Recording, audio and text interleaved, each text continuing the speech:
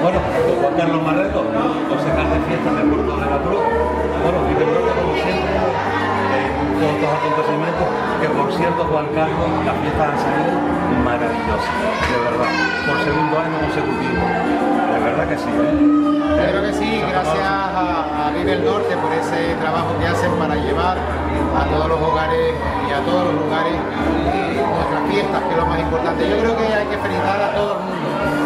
No hay que felicitar al ayuntamiento en particular ni a nadie, a todo el mundo, porque cada uno ha hecho el papel que le tocaba. Cuando empezamos la fiesta, hace un mes, principios de junio, yo decía, si cada uno hace el papel que le toca, las fiestas saldrán bien. Al final se consiguió, hemos terminado hoy con un broche de oro. Estamos en estos momentos en el lugar donde se deposita la Virgen Chiquita y yo creo que es el mejor cerrar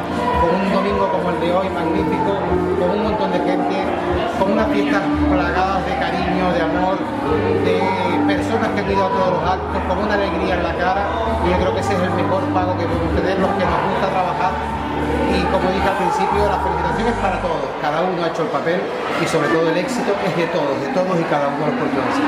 Pues Juan Carlos, muchas gracias por estas palabras ahí del norte y de verdad que sigas ahí en la serio, ¿eh? Gracias a ustedes y a disfrutar de lo que nos queda todavía, que nos quedan unas cuantas horitas.